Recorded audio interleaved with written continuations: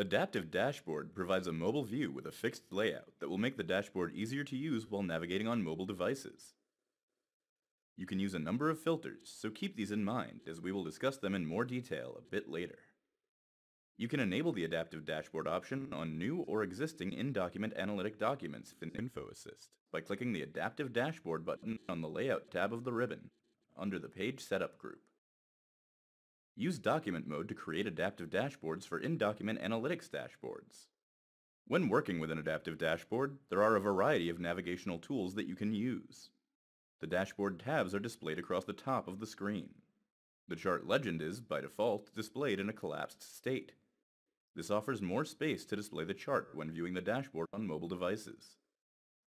The circles at the bottom of the screen identify the number of report or chart components that are available on the selected tab. The filled circle shows the component currently in view. The navigation arrows at the bottom of the screen allow you to navigate from one component to the next. The hamburger button displays available filter controls.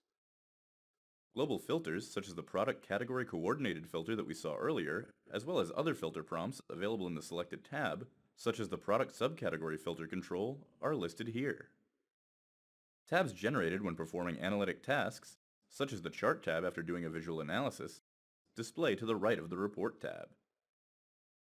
Adaptive dashboards allow you to manage and navigate your dashboards on mobile devices with ease.